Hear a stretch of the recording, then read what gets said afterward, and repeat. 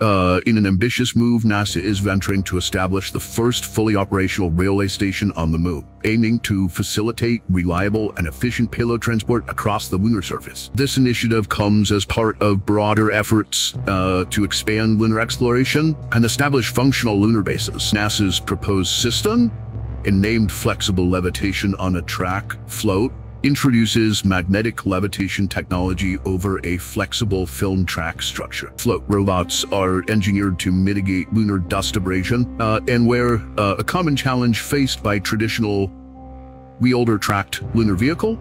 Uh, by levitating over the track, these robots minimize surface contact, ensuring longevity and operational efficiency. Uh, the proposed float system uh, boasts uh, impressive payload transportation capabilities, capable of transporting payloads of varying shapes at speeds of up to open a half meters per second. Um, additionally, a large-scale float system could potentially move up to 100,000 kilograms of regolith over multiple kilometers per day.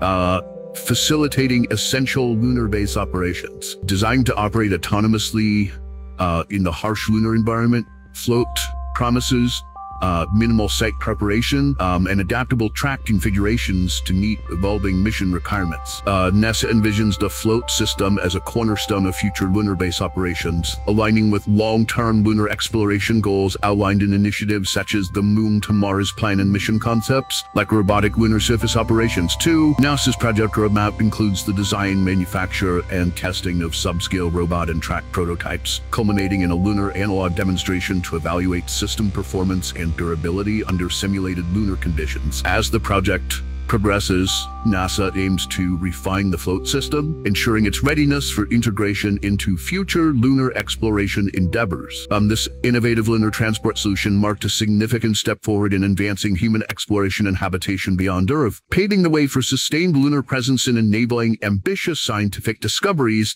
and technological advancements.